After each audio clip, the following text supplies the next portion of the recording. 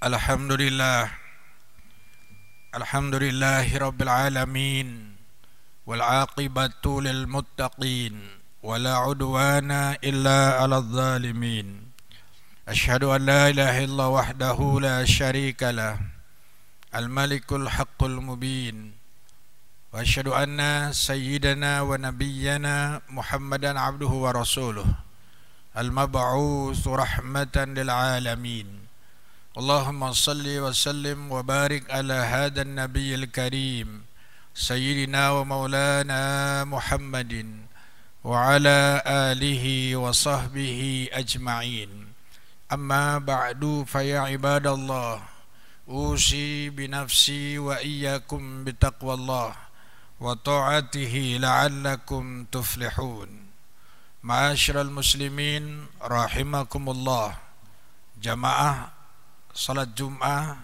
Masjid Salahuddin yang dirahmati Allah Subhanahu wa taala. Jumat hari ini kita berada pada Jumat putaran kedua di bulan Rabiul Awal. Bulan Rabiul Awal ini adalah bulan kelahiran seorang manusia agung yang diagungkan oleh Yang Maha Agung. Seorang manusia kamil dan mulia yang dimuliakan oleh Yang Maha Mulia. Khatamul Anbiya wal Mursalin sebagai penutup dari para nabi-nabi dan rasul yang ajarannya menjadi rahmatan lil alamin menjadi rahmat untuk segenap alam ini. Masyarul muslimin rahimakumullah, jamaah yang senantiasa dirahmati oleh Allah Subhanahu wa taala. Kelahiran Nabi kita Muhammad sallallahu alaihi wasallam telah merubah dunia gelap menjadi terang menderang seperti yang kita rasakan pada hari ini.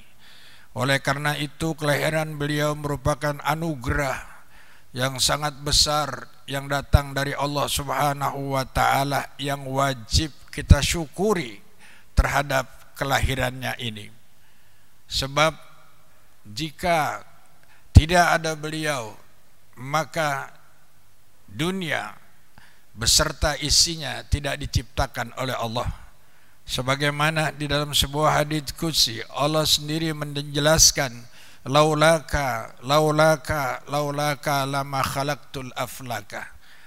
Ya Muhammad, kalau bukan sebabmu, kalau bukan karenamu, niscaya tidak aku ciptakan dunia dan alam semesta ini. Langit ada, bumi ada, karena berkat kelahiran beliau. Surga ada, neraka ada karena berkat kelahiran beliau.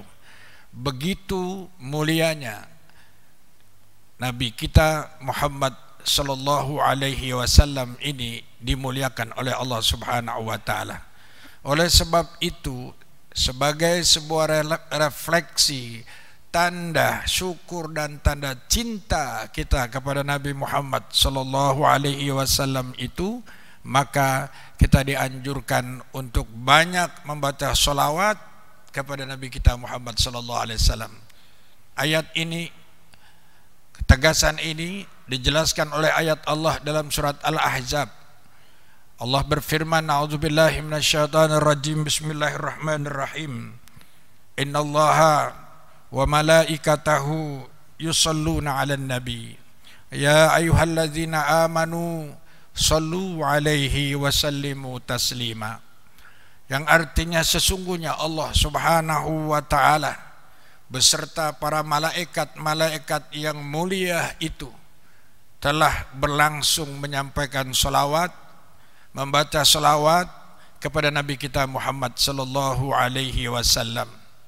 Oleh sebab itu hai orang-orang yang beriman kita yang dikhitab kita yang diajak dialog kita yang disuruh oleh Allah sallu alaihi wasallimu taslima hendaklah kalian sampaikan salawat dan salam kepada Nabi Muhammad sallallahu alaihi wasallam.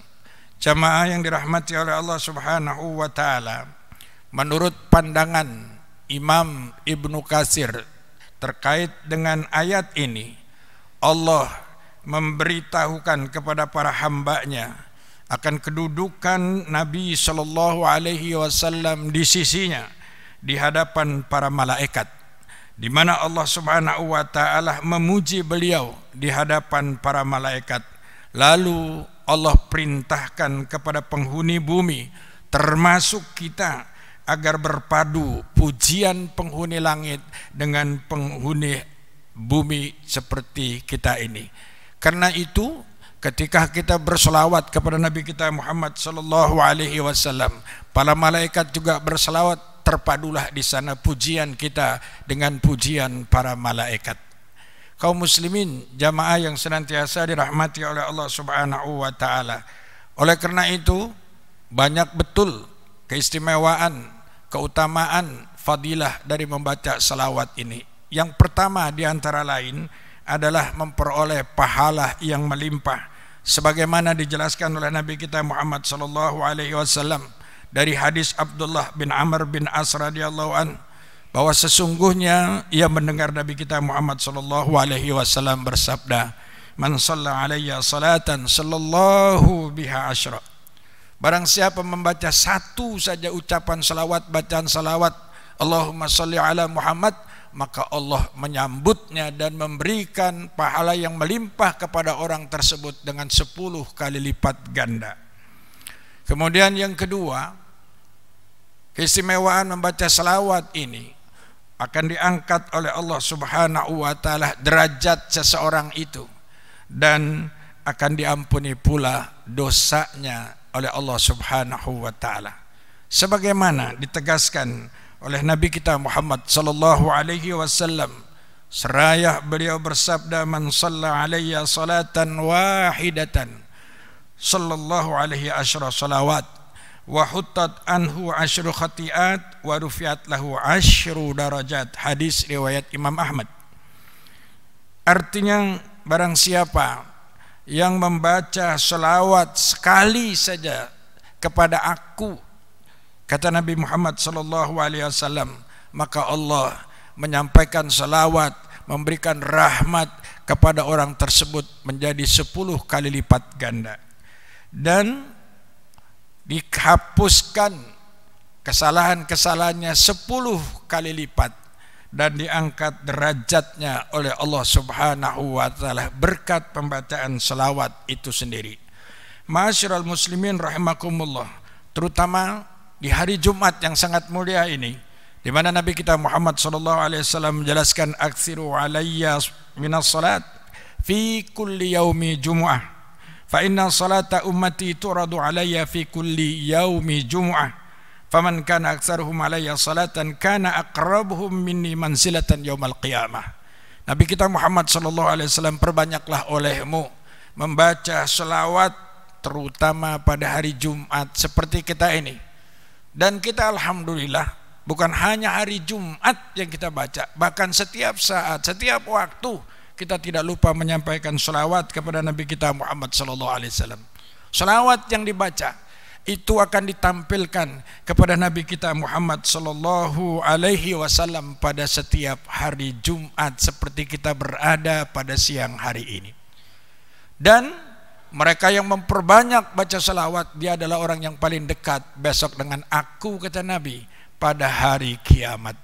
Masyiral muslimin rahimakumullah, amalan yang sangat ringan, amalan yang sangat mudah, amalan yang tanpa berwudu tapi begitu sangat mulia dan besar di sisi Allah Subhanahu wa taala. Masyiral muslimin rahimakumullah, jamaah yang senantiasa dirahmati oleh Allah Subhanahu wa taala. Dan keistimewaan yang ketiga adalah besok dia akan dikumpulkan di surga bersama Nabi kita Muhammad sallallahu alaihi wasallam. Di mana? Dari Imam Ibnu Mas'ud radhiyallahu an bahwa Rasulullah sallallahu alaihi wasallam bersabda aulan nas bi yaumal qiyamati manzilhum aksaruhum alayya salatan. Besok orang yang paling dekat dengan aku kata Nabi di hari kiamat yaitu orang yang banyak membaca salawat kepada aku orang yang banyak ingat kepadaku, orang yang selalu bibirnya basah dengan menyebut-nyebut aku dan berselawat kepadaku. Masyiral muslimin rahimakumullah, jamaah yang senantiasa dirahmati oleh Allah Subhanahu wa taala. Karena itu ini adalah bulan Rabiul Awal, bulan di mana dilahirkan junjungan kita Nabi besar Muhammad sallallahu alaihi wasallam. Bahkan Rabiul Awal ini bukan hanya dilahirkan Nabi, tapi Nabi berhijrah juga pada bulan Rabiul Awal Nabi juga wafat pada bulan Rabiul Awal. Luar biasa bulan Rabiul Awal yang seperti ini. Mudah-mudahan dengan keberadaan kita di bulan Rabiul Awal ini akan menambah cinta kita kepada Nabi kita Muhammad sallallahu alaihi wasallam akan menambah kecintaan kita untuk menghidupkan sunnah-sunnahnya di tengah-tengah kerusakan umat yang sangat luar biasa ini. Dengan demikian, Mudah-mudahan akan bertambah kualitas iman dan ketakwaan kita kepada Allah Subhanahu wa taala dan kita dijadikan manusia-manusia setia mengikuti ajaran Nabi kita Muhammad sallallahu alaihi wasallam. Amin. Amin ya rabbal alamin. A'udzubillahi minasyaitonir rajim. Bismillahirrahmanirrahim. Illa alladzina amanu wa 'amilus solihat wa tawassaw bil haqq wa tawassaw bis sabr. بارك الله لي ولكم في القرآن العظيم.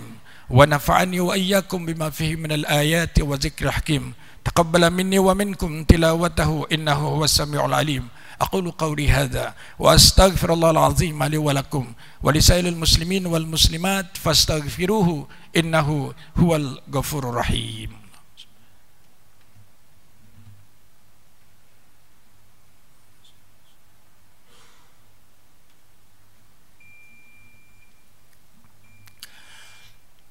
الحمد لله الحمد لله حمدا كثيرا كما أمر أشهد أن لا إله إلا وحده لا شريك له إرغابا لمن جهد به وكفر وأشهد أن سيدنا ونبينا محمدا عبده ورسوله سيد الخلائق والبشر اللهم صل وسلم بارك على سيدنا محمد وعلى آله وأصحابه المصابه الغرر أما بعد فيا عباد الله اتقوا الله اتقوا الله اتقوا الله حق تقاته ولا تموتن إلا وأنتم مسلمون.